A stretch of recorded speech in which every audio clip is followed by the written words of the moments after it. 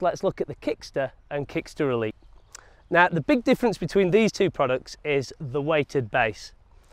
The Kickster Elite uses steel in this section to create weight so when the ball hits it, it just drops back into place. It's got rubber feet so it's perfect for hard surfaces like AstroTurf or indoor.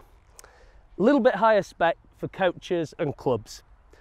Your Kickster Academy doesn't have the weight in this section but comes with ground peg so it's great on grass uh, or can be weighted if you use it indoors.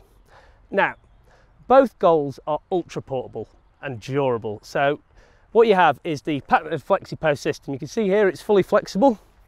All you need to do, you take this off and you can see all the frame comes pre-attached so you don't need instructions and that's just great for going down the park or popping it up in the garden uh, or for team training if you're going to a portable site.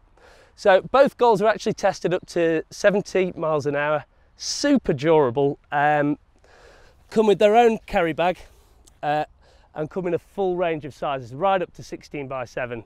This is our 8 by 5, very popular for gardens.